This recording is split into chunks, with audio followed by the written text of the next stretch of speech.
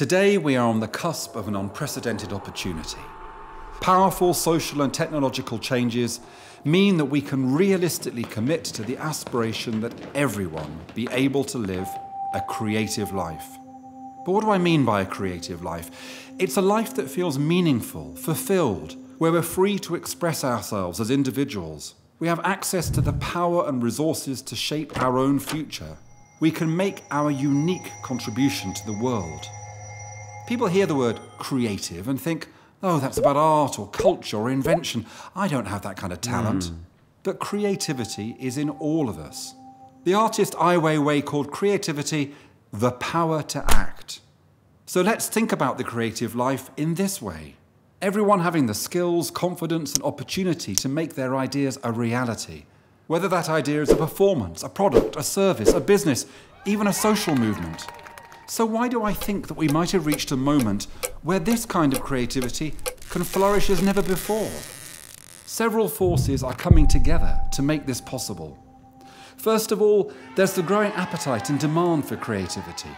Across the world, a better educated, more mobile, more questioning population is seeking out and discovering new routes to self expression, collaboration, enterprise.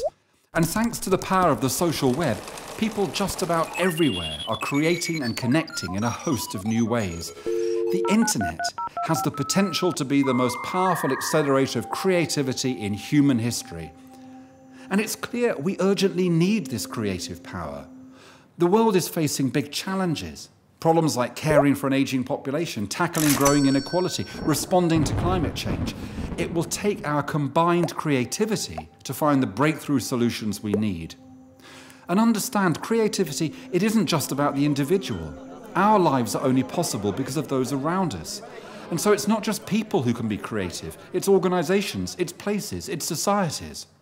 But there's another side to this story the barriers the barriers that stand in the way of achieving the goal of creative lives for all. These include those employers and educators who draw too distinct a line between those they deem creative people and creative tasks and the rest, shutting down opportunities to engage and develop us all to our full potential. And we need to address the way our institutions behave, the way they treat people, and the way our government is run. Leaders have to think differently about how they motivate and mobilize Lasting social progress, it only comes about when governments work in partnership with communities, drawing on the creative capacities of all citizens, recognising them not as bundles of need, but as huge untapped assets. Instead of seeing social engagement as an optional add on to government policy, we should see that policy only really works when people themselves have chosen to be change makers. And we need to make sure that assets like finance, intellectual property, networks, that they're not just hoarded by the few, but made available as resources for a truly creative society.